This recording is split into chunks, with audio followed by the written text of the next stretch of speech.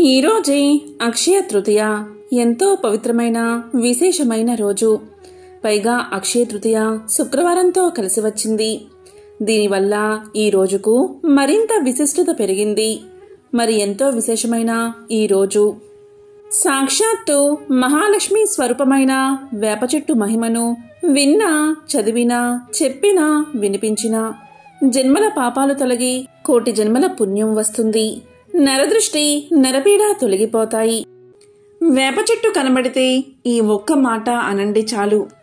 లక్ష్మీదేవి అనుగ్రహం మీకు తప్పకుండా కలుగుతుంది. భారతదేశంలో పూజలు అందుకుంటున్న అత్యుత్తమమైన చెట్టు వేప చెట్టు. దీనిని భారతీయులు గుర్తించి దాన్ని పవిత్ర వృక్షంగా పూజించడం మొదలుపెట్టారు. ఎవరైతే ఉదయం లేవగానే వేప చెట్టును చూస్తారో వారికి శుభం కలుగుతుంది. వేప చెట్టు ఎంతో పవిత్రమైనది. వైద్యంలో దీని పాత్ర గురించి చరకుడు అర్థశాస్త్రంలో వివరించాడు. ఆయుర్వేదంలో కూడా చరక సంహిత సుశ్రుత సంహిత వంటి గ్రంథాలలో వేప చెట్టు గురించి అనేక రుజువులు ఉన్నాయి.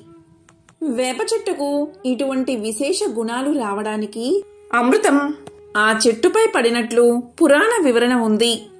గరుత్మంతుడు తన తల్లి దాస విముక్తి కొరకు అమృతాన్ని తీసుకువెళ్తుండగా కొన్ని చుక్కలు చింది భూలోకంలోని వేప చెట్టు మీద పడగా అది శక్తివంతమైన మానవులకు మేలు చేసే వృక్షంగా మారిందని పురాణ కథ కూడా ఉంది. అదేవిధంగా దేవతల వైద్యుడైన ధన్వంతరి ప్రతిరూపమే వేప చెట్టు అంటారు. భూలోకంలో వేప చెట్టు నాటి పోషించిన వారికి స్వర్గలోకం ప్రాప్తిస్తుంది. అంతేకాదు వరుసగా మూడు వేప చెట్లు పెంచి పోషిస్తే సూర్యలోకం ప్రాప్తిస్తుంది అనే నమ్మకం కూడా ఉంది.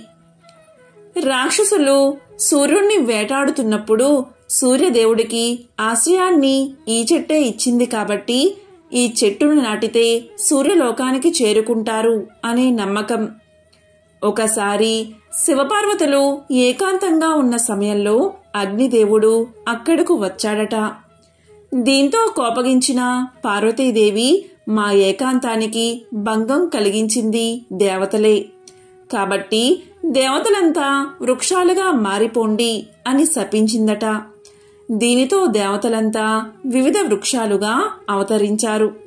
వారిలో శ్రీ మహావిష్ణువు రావి చెట్టుగా ఆయన భార్య అయిన లక్ష్మీదేవి వేప చెట్టుగా మారారు. ఇది పురాణ కథ. అందుకే వేప చెట్టును లక్ష్మీదేవి స్వరూపమని భావిస్తారు. అందువల్లే లక్ష్మీ స్వరూపమైన వేప చెట్టును నాటి దానికి రావి చెట్టుకి వివాహం కూడా చేస్తారు. ఉత్తర భారతదేశంలో వేప చెట్టును నీమాలీదేవి అని పిలుస్తారు.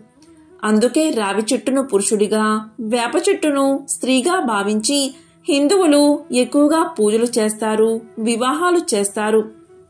ఇలా జంట వృక్షాలను పూజిస్తే దాంపత్య దోషాలు తొలగిపోతాయని దాంపత్యం అన్యోన్యంగా ఉంటుందని శాస్త్రాలు కూడా చెప్తున్నాయి. ఎవరైతే వేప చెట్టును ముట్టుకుని నమస్కారం చేస్తారో అలాంటి వారికి లక్ష్మీదేవి అనుగ్రహం తప్పకుండా కలుగుతుంది. హిందూ సనాతన ధర్మంలో వేప వృక్షానికి ఉన్న ప్రాధాన్యత అత్యంత విశేషమైనది. ఎవరైతే పగటిపూట వేప చెట్టు నీడలో విశ్రమిస్తారో అలాంటి వారు ఆరోగ్యవంతులుగా ఎక్కువ కాలం జీవిస్తారని ప్రాచీన ఆయుర్వేద గ్రంథంలో చరకుడు తెలియచేశాడు. వేప చెట్టు గొప్పతనం గురించి వివరించే ఒక కథ ఇప్పుడు తెలుసుకుందాం. పూర్వం మలయాళ దేశంలో జామరిన్ అనే రాజు ఉండేవాడు. ఆయన ఒకసారి తన రాజ్యమంతటా చింత చెట్టు నాటించడానికి ఆ పనికి తన మంత్రిని ఉపయోగించాడు. ఆ రాజ్యంలో నంబియార్ అనే గొప్ప వైద్యుడు ఉండేవాడు. మూలికా వైద్యంలో నంబియారుకు పెట్టింది పేరు. ఆ కాలంలో ఢిల్లీ పాదుషా దగ్గర ఉండే అరబ్బీ హకీం ప్రకృతి వైద్యంలో అద్భుత ప్రజ్ఞ కలవాడు. నంబియార్ కూడా దాదాపు ఆయనతో సమానమైన వైద్యుడని ప్రజలు చెప్పుకునేవారు. రాజు దేశమంతటా చింత చెట్లు నాటిస్తున్నాడని తెలియగానే నంబియార్ రాజు దగ్గరకు వెళ్ళి ఇలా పలికాడు. రాజా చింత చెట్లు నాటించవద్దు. అవి ప్రస్తుతం చాలానే ఉన్నాయి కదా. వేప చెట్లు నాటించండి. అలా చేస్తే ప్రజలు ఆరోగ్యంగా ఉంటారు. అంటువ్యాధులు దరిచేరవు అని తెలియచేశాడు. దానికి రాజు ఒప్పుకోక ఇలా అన్నాడు. చింత చెట్లు వల్ల అనేక ఉపయోగాలు ఉన్నాయి. చింతపండుకు మంచి గిరాకీ ఉంది. చింత చెట్టుతో చేసినవి శ్రేష్టమైనవి. చింత చిగురు చింత పువ్వు ఎంతో రుచిగా ఉంటాయి. దారుల వెంట చింత చెట్లు నాటితే ఎవరి పోషణ అవసరం లేకుండానే అవి బ్రహ్మాండమైన చెట్లుగా పెరిగి ప్రయాణికులకు చల్లని నీడనిస్తాయి. వేప చెట్టు వల్ల ప్రయోజనం ఏమిటి అని రాజు అన్నాడు. ఈ మాటలకు నంబియార్ రాజుకు ఎదురు చెప్పకుండా వెనుతిరిగి వెళ్ళిపోయాడు. అలా వెళ్తూ వెళ్తూ మంత్రి ఇంటికి చేరుకున్నాడు. మంత్రి నంబియార్కు స్వాగతం పలికాడు. అప్పుడు నంబియార్ మంత్రి వైపు చూస్తూ ఉండిపోయాడు. అప్పుడు మంత్రిగారు నవ్వుతూ ఎందుకు మీరు అలా నన్ను పరీక్షగా చూస్తున్నారు? మీ దయవల్ల నా ఆరోగ్యానికి ఎటువంటి లోపం లేదు అన్నాడు. దానికి నంబియార్ గంభీరంగా ఇప్పుడేమీ లోపం లేదు. కానీ ఆరు మాసాలలో మీకు భయంకరమైన జబ్బు చెయ్యబోతుంది సకాలంలో దానికి తగిన చికిత్స చెయ్యాలి. లేకపోతే చాలా ప్రమాదం అన్నాడు. నంబియార్ మాటలకు మంత్రి కంగారు పడి అయితే తక్షణమే వైద్యాన్ని ప్రారంభించండి అన్నాడు. దానికి నంబియార్ ఇలా పలికాడు. ఈ వ్యాధి వైద్యానికి లొంగేది కాదు. మీరు వెంటనే బయలుదేరి ఢిల్లీలో పాదుషా దగ్గర ఉండే హకీంని చూడడం మంచిది అన్నాడు. దానికి మంత్రి ఇలా అన్నాడు. అంత దూరం ఏదో విధంగా కష్టపడి వెళ్తే మాత్రం ఆయన నన్ను సరిగ్గా చూస్తాడా అన్నాడు. దానికి నంబియార్ ఇలా అన్నాడు. హకీం గారికి అటువంటి తేడాలేమీ లేవు. ఆయన ఎంత పేదవాడు వచ్చినా ధనవంతుడు వచ్చినా ఒకేలా ఆదరిస్తాడు. మీరు వెంటనే బయలుదేరడం మంచిది అన్నాడు. వ్యాధి విషయంలో నంబ్యార్ చెప్పిన మాటలకు తిరుగులేదు కాబట్టి మంత్రి సెలవు తీసుకుని ఢిల్లీకి ప్రయాణమయ్యాడు. ఆయన బయలుదేరే సమయంలో నంబియార్ ఒక సలహా ఇచ్చాడు. మీరు దారిలో ప్రయాణం చేసే సమయంలో చింత చెట్టు నీడలోనే విశ్రమించండి. చింత చెట్టు తోపుల్లోనే పడుకోండి. చింత చెట్టు పుల్లతోనే దంతాలు తోముకోండి. మీ వంట చింత చెట్టు కట్టెలతోనే చేయించుకోండి అన్నాడు. ఇక మంత్రి నంబ్యారిచ్చిన సలహాను అక్షరాలా పాటిస్తూ తన సపరివారంగా ఢిల్లీకి ప్రయాణమయ్యాడు. ఇంకా ఢిల్లీకి చేరే లోపలే ఆయన ఆరోగ్యం పాడవడం ప్రారంభమైంది. బలహీనత ఏర్పడింది. శరీరం చిక్కి పాలిపోసాగింది. ఆహా నంబియార్ ఎంత తెలివైన వైద్యుడు. ఈరోజు వచ్చిన అనారోగ్యాన్ని ఆ రోజే పసిగట్టాడు అనుకుంటూ మంత్రి అత్యంత అనారోగ్య పరిస్థితుల్లో ఢిల్లీకి చేరుకున్నాడు. ఆయనకు హకీం గారి దర్శనం చాలా సులువుగా లభించింది. మంత్రి చెప్పిందంతా విని హకీం ఈ విధంగా అనుకున్నాడు. చింత చెట్ల వల్ల ప్రయోజనం లేదనే విషయాన్ని రుజువు చేయడానికి నంబియార్ మంత్రిని తన వద్దకు పంపించాడని ఊహించాడు. ఇక మంత్రితో హకీం ఇలా అన్నాడు. మీ వ్యాధి గొప్పదే కానీ చికిత్స చాలా సులువైనది అని పలకగానే మంత్రి అదేమిటో సెలవియ్యండి అన్నాడు. వెంటనే హకీం ఇలా చెప్పాడు. మీరు వెంటనే బయలుదేరి మీ దేశానికి వెళ్ళిపోండి. వెళ్ళేటప్పుడు వేప చెట్ల నీడలోనే విశ్రమించండి. వేప చెట్ల మండలంతో ఇసురుకోండి. వేప చెట్ల పుల్లతోనే దంతాలు తోముకోండి. వేప చెట్ల పుల్లలతోనే వంటలు చేసుకోండి. ఇంతకంటే మీ వ్యాధికి మరొక చికిత్స అవసరం లేదు. నా తరపున నంబియార్ గారికి వెయ్యి సలాములు చెప్పండి. ఇక వెళ్ళిరండి అన్నాడు. ఇక మంత్రి సపరివారంగా స్వదేశానికి బయలుదేరాడు.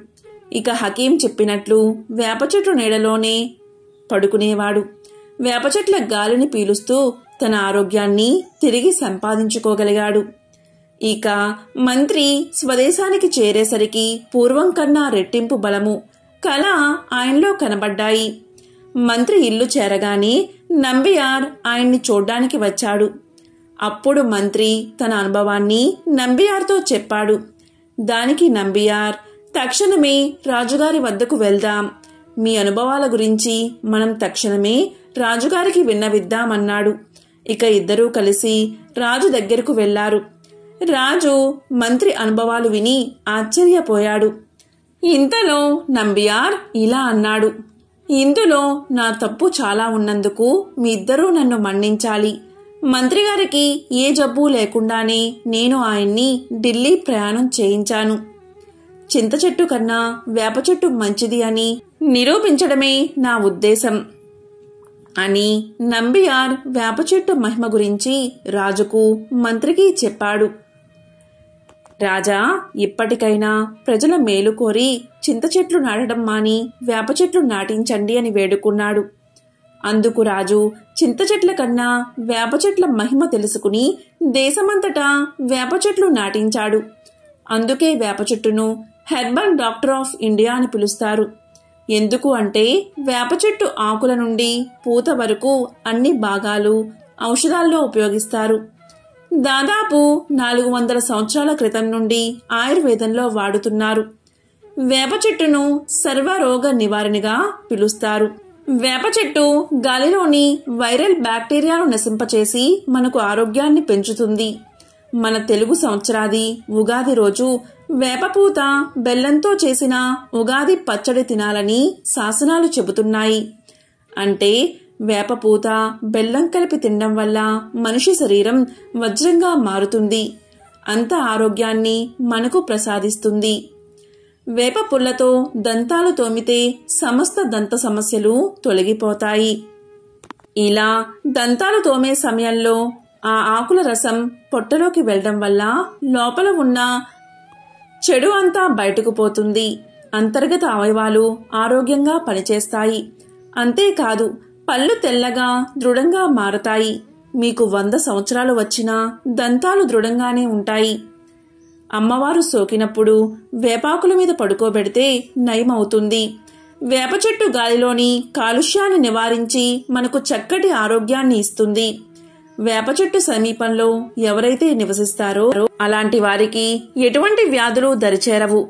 వారానికి ఒకసారి పరగడుపున ఏడు వేప చిగుళ్ళు నూరి ఉండచేసి మింగి పావు కప్పు పెరుగు సేవిస్తే కడుపులో మరియు పేగుల్లోని వివిధ రకాల క్రిములు చనిపోతాయి.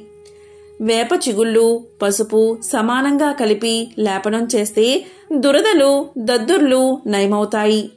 కాబట్టి వేప చెట్టు అంత గొప్పది అని పరిశోధనలు కూడా తెలియచేస్తున్నాయి.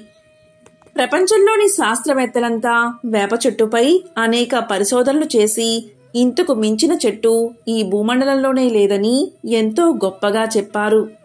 అంత విశేషమైనది వేప చెట్టు మహిమ. వేప చెట్టు సాక్షాత్తు లక్ష్మీ స్వరూపం.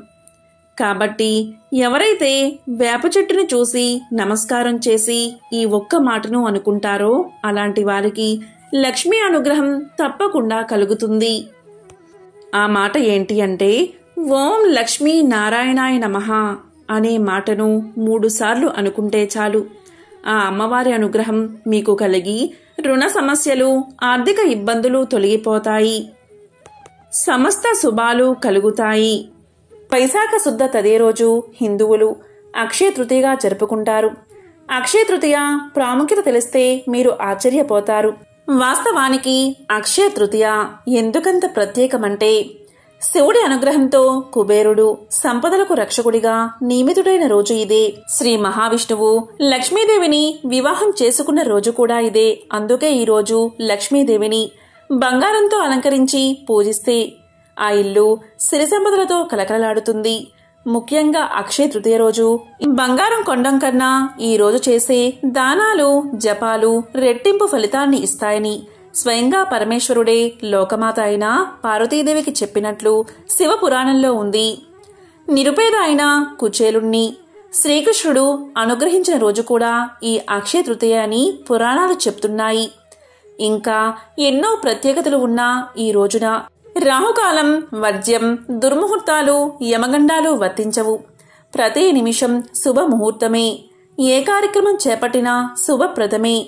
అక్షరాభ్యాసాలు అక్షయ తృతీయ రోజే పెట్టుకుంటారు. ఈ రోజు ఏ వ్రతం చేసినా ఏ పూజ చేసినా ఏ హోమం చేసినా ఆ ఫలం అక్షయమవుతుంది. పరశురాముడు జన్మించింది అక్షయ తృతీయ రోజే. అలాగే పవిత్ర గంగానది భూమిని తాకిన పర్వదినం కూడా ఈ రోజే. అంతేకాదు శ్రీకృష్ణుడు తన బాల్యమిత్రుడైన కుచేరుణ్ణి కలుసుకున్న రోజు కూడా ఈ అక్షయ తృతీయే. ఈ- ఈ రోజుతో కుచేరుడు దారిద్ర్యం తొలగిపోయి సంపన్నుడు అయ్యాడు. వ్యాస మహర్షి మహాభారతాన్ని వినాయకుడి సహాయంతో రాయడం మొదలుపెట్టింది అక్షయ తృతీయ రోజే. వనవాసం చేస్తున్న పాండవులకు సూర్య భగవానుడు అక్షయ పాత్ర ఇచ్చింది కూడా ఈ రోజే. అలాగే శివుణ్ణి ప్రార్థించి కుబేరుడు శ్రీ మహాలక్ష్మితో సమస్త సంపదలకు సంరక్షుడిగా నియమితమైనది ఈ రోజే. అంతేకాదు కటిక దారిద్ర్యం అనుభవిస్తున్న ఓ పేదరాలి ఇంట జగద్గురు ఆదిశంకరాచార్యుల వారు కనకధరా స్తోత్రం చెప్పిన దినం ఇదే. అంతేకాదు అన్నపూర్ణాదేవి తన అవతారాన్ని స్వీకరించిన రోజు కూడా ఇదే. అంతేకాదు బృందావనంలోని బంకే బీహారీ ఆలయంలో శ్రీకృష్ణుడి పాదాలను దర్శించుకునే అవకాశం ఈ ఒక్క రోజే దక్కుతుంది. అదేవిధంగా సింహాచలం దివ్య క్షేత్రంలో సింహాద్రి అప్పన్న నిజరూప దర్శనం మరియు చందనోత్సవం ప్రారంభమయ్యే రోజు ఈ అక్షయ తృతీయే. అక్షయ తృతీయ రోజు బంగారం కొనాలి అని ఏ శాస్త్రాల్లో చెప్పలేదు. ఈ రోజు బంగారంతో పూజ చేసిన ఫలితం పొందాలి అంటే మీరు లక్ష్మీ కుబేర వ్రతం చేస్తే పొందుతారు. లక్ష్మీ కుబేర వ్రతం ఎంతో విశిష్టత కలిగిన వ్రతం. కుబేరుణ్ణి లక్ష్మీదేవిని ఈ రోజు ఆరాధిస్తే మీకు సకల సంపదలు కలుగుతాయి. మరి లక్ష్మీ కుబేర వ్రతం ఏ విధంగా ఆచరించాలి ఎవరు చెయ్యాలి అనేది తెలుసుకుందాం. లక్ష్మీ కుబేర వ్రతాన్ని అక్షయ తృతీయ రోజు ఎవరైతే ఇంట్లో ఉన్నటువంటి ఆర్థిక కష్టాల నుంచి బయటపడాలి అనుకుంటున్నారో వారు చేయవచ్చు. ఈ రోజు ఏ సమయంలో అయినా మీరు ఈ వ్రతాన్ని ఆచరించవచ్చు. అక్షయ తృతీయ రోజు ఉదయం నుంచి రాత్రి వరకు ఎప్పుడు కుదిరితే అప్పుడు ఈ లక్ష్మీ కుబేర వ్రతాన్ని చేసుకోవచ్చు. అయితే మీకు పూర్తి స్థాయి లక్ష్మీ కటాక్షం కలగడానికి లక్ష్మీ కుబేర వ్రతాన్ని తొమ్మిది సార్లు ఆచరించాల్సి ఉంటుంది. మొదటిసారిగా ఈ అక్షయ తృతీయ రోజు ప్రారంభించి ప్రతి నెల తృతీయ వచ్చిన రోజున కానీ గురువారం రోజున కానీ లేక పౌర్ణమి రోజు కానీ ఈ వ్రతాన్ని పాటిస్తూ మళ్ళీ అక్షయ తృతీయ రోజు వచ్చే నాటికి ఎలా అయినా సరే తొమ్మిది సార్లు ఈ వ్రతాన్ని పూర్తి చేస్తే తప్పక మీకు సిరి సంపదలకు కొదవ లేకుండా లక్ష్మీ కుబేర అనుగ్రహం మీకు కలుగుతుంది. ఈ లక్ష్మీ కుబేర వ్రతాన్ని ఆచరించడానికి మీకు లక్ష్మీదేవి కుబేరుడు సతీమణి అయిన చిత్రలేఖ అలాగే కుబేరుడు ఉన్నటువంటి చిత్రపటం ఒకటి కావాలి. మీకు అందుబాటులో ఉంటే ఈ చిత్రపటాన్ని ఉపయోగించండి. ఇలా వీలుపడని వారు లక్ష్మీదేవికి ప్రతిరూపంగా ఒక నాణాన్ని పెట్టి కుబేరుడికి ప్రతిరూపంగా మరొక నాణాన్ని పెట్టి అలాగే కుబేరుడి సతీమణి అయిన చిత్రలేఖ ప్రతిరూపంగా మరొక నాణాన్ని పెట్టి ఈ నాణాలని దేవతామూర్తులుగా భావించి ఈ వ్రతాన్ని ఆచరించవచ్చు. లక్ష్మీ కుబేర మంత్రాన్ని పదకొండు సార్లు పఠించి పూజలో పాల్గొవాలి. ఈ పూజకు మీరు తప్పకుండా ఎరుపు రంగులో ఉన్న పువ్వులను ఉపయోగించాలి. అలాగే మట్టి దీపము లేదా వెండి దీపాన్ని ఉపయోగించాలి. పరమాన్నం లేదా దద్దోజనాన్ని నైవేద్యంగా సమర్పించాలి. పూజ పూర్తయిన తర్వాత ఎవరికైనా సరే మీకు తోచినటువంటి వస్తువును కానీ వస్త్రాన్ని కానీ డబ్బును కానీ దానం చెయ్యాలి ఈ విధంగా దానం చేస్తే మీరు అక్షయ తృతీయ వ్రతం చేసిన ఫలితాన్ని తప్పకుండా పొందుతారు. సాధారణంగా చేస్తున్న దాన ధర్మాలకు ఎంతైతే ఫలితం వస్తుందో అంతకు వంద రెట్లకు మీకు ఈ అక్షయ తృతీయ రోజు చేసే దానం వల్ల కలుగుతుంది. లక్ష్మీ కుబేర వ్రతాన్ని ఈరోజు ఆచరించిన తర్వాత దాన ధర్మాలు చేయండి. ఇక అక్షయ తృతీయ రోజు బంగారం కొనాల్సిన పని లేదు. ఈ అక్షయ తృతీయ రోజు మీరు ఇంటికి కొన్ని వస్తువులను కొని తెచ్చుకున్నా కూడా బంగారం కొని తెచ్చుకున్నా ఫలితం మీకు దక్కుతుంది. ఆ వస్తువులు ఏంటో ఇప్పుడు తెలుసుకుందాం.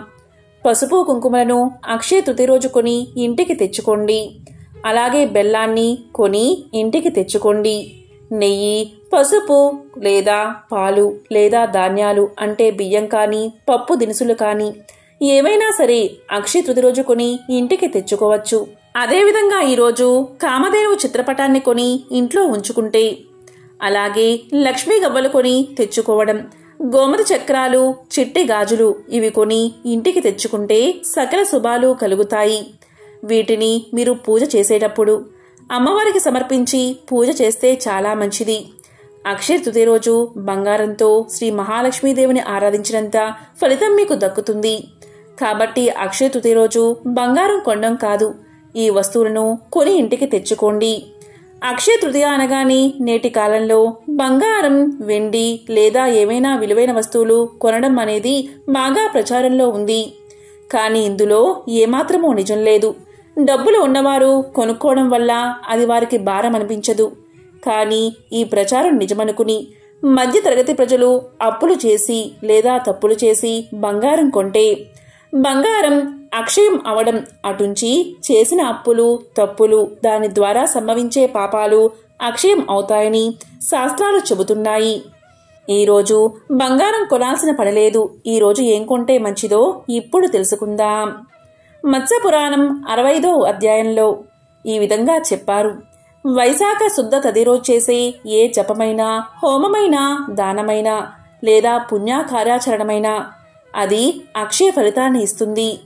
ఈరోజు చేసే పుణ్య కార్యాచరణ వల్ల వచ్చే ఫలితం అక్షయం అయినట్లే పాప కార్యాచరణ వల్ల వచ్చే పాపం కూడా అక్షయమే అవుతుంది. ఈరోజు చేసే తప్పులు మహాపాపాలుగా పరిగణించబడతాయి. ఈ రోజు తృతీయ తిథి బ్రహ్మతో కలిసి ఉంటుంది. అందుకే విశేష పూజనీయమైనది. ఈ రోజు ఎవరైనా సరే ఉపవాస దీక్షను తీసుకుని ఏ పుణ్యకార్యాన్ని ఆచరించినా దాని ఫలితం అక్షయంగా లభిస్తుంది. ఈ రోజు అక్షయుడైన విష్ణువు పూజించబడతాడు. అందుకే ఈరోజు బంగారం కొనాల్సిన పడలేదు. ఈ రోజు ఫలమో పుష్పమో భగవంతుడికి సమర్పించి దైవనామ స్మరణ చేసినా చివరకు నమస్కారం చేసినా సంపద మరియు పుణ్యఫలం కలుగుతుందని పురాణాలు చెప్తున్నాయి. పరమ పవిత్రమైన అక్షయ తృతీయ రోజు. ఏ శుభకార్యమైనా రాహుకాలం వగేరాలతో నిమిత్తం లేకుండా జరుపుకోవచ్చని శాస్త్రాలు చెబుతున్నాయి. కృతికా రోహిణి నక్షత్రంతో కూడిన ఈ పర్వం ఎంతో మహాపుణ్యదినం. ఈ రోజున చేసే దానాలు అక్షయ ఫలాన్ని ఇస్తాయి. ఇక అక్షయ తృతీయ పర్వదినం గురించి శ్రీకృష్ణుడు ధర్మరాజుకు ఇలా చెప్పినట్లు భవిష్య పురాణంలో ఉంది. పూర్వం దరిద్రుడు ప్రియవాది సత్యవంతుడు దేవగురు జనభక్తుడు అయిన కోమటి ఉండేవాడు. అతను ఒకసారి వైశాఖ మాస శుక్లపక్ష మహత్యాన్ని పెద్దల ద్వారా విని అక్షయ తృతీయ నాడు గంగా స్నానం చేసి ఇంటికి వచ్చి దేవపూజ చేసి లడ్డూ వగేరాలు దానం చేశాడు. ఆ కోమటి తర్వాత జన్మలో ధనవంతుడైన ఒక క్షత్రుని ఇంట పుట్టాడు. ఆ జన్మలోనూ అతను తన దానరతిని వీడలేదు. ఎంతగా దానం చేస్తూ ఉన్నా అతని సంపద క్షయం కాకుండా అక్షయం అవుతూనే ఉంది. ఇదంతా అక్షయ తృతీయ. వ్రతాచరణ ప్రభావం అని ధర్మరాజుకు శ్రీకృష్ణుడు ఈ కథా విశేషాలు చెప్పాడని పురాణ కథనం ఉంది. అక్షయ తృతీయ నాడు గంగా స్నానం చేసేవారు. సకల పాప విముక్తులు అవుతారు. ఈ రోజు స్నానం కూడా ఉదయం. సూర్యోదయం తర్వాత ఆరు గడియల్లోపు చేయాలి. గడియ అంటే ఇరవై నాలుగు నిమిషాల కాలం. ఆరు గడియలు అంటే రెండు గంటల ఇరవై నాలుగు నిమిషాల కాలం. అంటే అక్షయ తృతీయ రోజు. ఉదయం ఐదు గంటల ముప్పై నాలుగు నిమిషాలకు సూర్యోదయం అవుతుంది. అక్కడి నుంచి ఖచ్చితంగా ఆరు గడియల కాలం అంటే రెండు గంటల ఇరవై నాలుగు నిమిషాల లోపు స్నానం చేస్తే సకల పాపాలు తొలగిపోతాయి. కోటి జన్మల పుణ్యం వస్తుంది. మీ శరీరానికి దివ్య శక్తి వస్తుంది.